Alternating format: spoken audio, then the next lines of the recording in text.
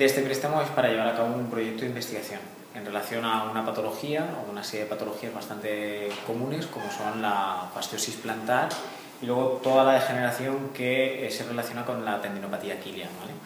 Se están viendo muchas, muchos casos de, de fastiosis plantar y de tendinopatía quilia entonces lo que nos brinda la posibilidad a este equipo, que es bastante novedoso, es no solo ver la estructura de la fascia plantar y del tendón de Aquiles, sino también valorar cuánto de rígido o de blando es.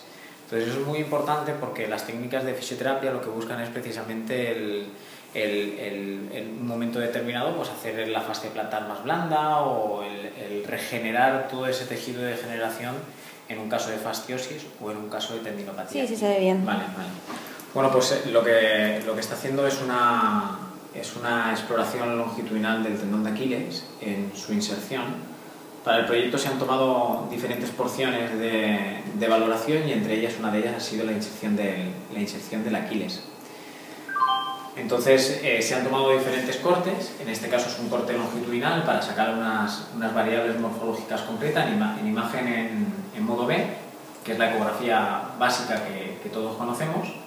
Y luego también hemos visto en esa zona en concreto de inserción el estudio de sonorastografía, que lo que nos va a permitir es ver cuánto, en base a una gama de color, desde el rojo hacia el azul, cuánto de rígido o cuánto de blando es ese tejido. Entonces así tendríamos una imagen estructural y al mismo tiempo también una imagen, podríamos decir, más cualitativa.